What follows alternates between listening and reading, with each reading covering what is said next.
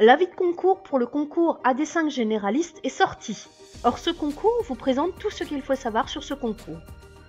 Pour postuler à ce concours, vous devez être citoyen d'un État membre de l'Union européenne, être en règle par rapport au service militaire, offrir les garanties de moralité requises pour les fonctions envisagées, parler au moins deux langues officielles des pays membres de l'UE, posséder un diplôme Bac plus 3 minimum. Aucune expérience professionnelle n'est requise, il est donc aussi ouvert aux nouveaux diplômés. Il n'y a pas de limite d'âge pour s'y inscrire.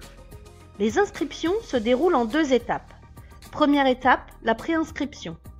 Les préinscriptions sont ouvertes du 8 mars au 10 avril 2018. Vous devez confirmer que vous remplissez les conditions générales d'accès.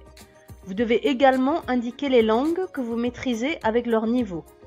Attention, vous devez mentionner au moins deux langues, l'une au minimum au niveau C1 et l'autre au niveau B2.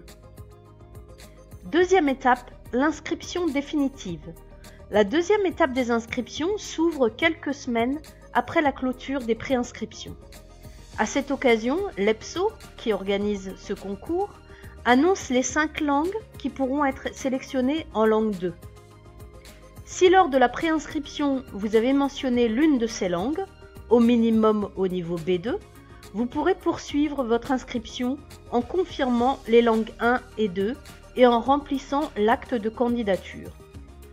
Dans le cas contraire, vous ne pourrez pas participer au concours. La langue 1 correspond à l'une des 24 langues officielles de l'Union européenne. Vous devez la maîtriser au niveau C1, c'est-à-dire en avoir une connaissance approfondie. Autrement dit, vous devez vous exprimer spontanément et couramment dans cette langue. La langue 2 correspond à l'une des cinq langues retenues par l'EPSO, elle doit être différente de la langue 1. Vous devez au minimum la maîtriser au niveau B2, c'est-à-dire en avoir une connaissance satisfaisante. Les tests QCM sur ordinateur sont les premiers tests que vous allez passer. Ils comprennent trois tests de raisonnement que vous devez effectuer en langue 1, raisonnement verbal, raisonnement numérique, raisonnement abstrait. Cette année, le test de jugement situationnel fait son retour. Vous devez l'effectuer en langue 2. Pour être admissible à l'étape suivante, vous devez avoir obtenu les minima requis pour chaque test et l'une des meilleures notes globales combinées en raisonnement abstrait et jugement situationnel. Si vous êtes admissible, vous serez invité à l'étape intermédiaire. Elle ne comprend qu'une seule épreuve, le bac à courrier. Comme le bac à courrier et toutes les épreuves qui vont suivre, le bac à courrier s'effectue en langue 2. Vous serez noté sur 4 compétences. Vous serez alors admis à l'étape suivante si vous obtenez l'un des meilleurs scores.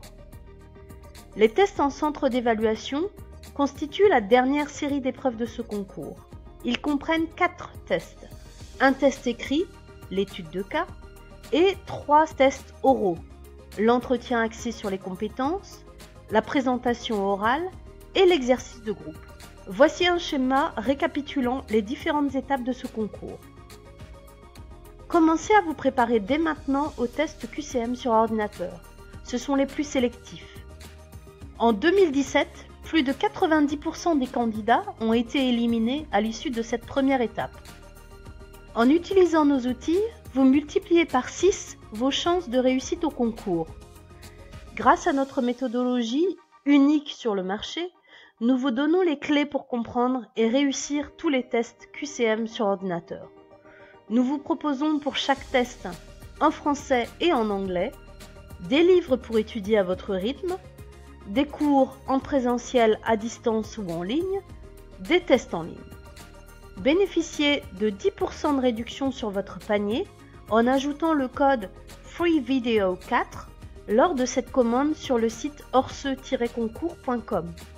Attention, ce bon n'est valable qu'une seule fois par contre.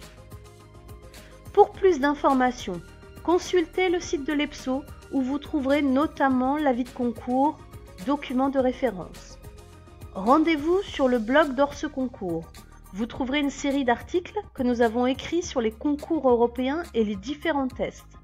Visionnez nos vidéos sur notre chaîne YouTube, notamment en 5 minutes les concours européens et 5 bonnes raisons de vous préparer avec Orce Concours.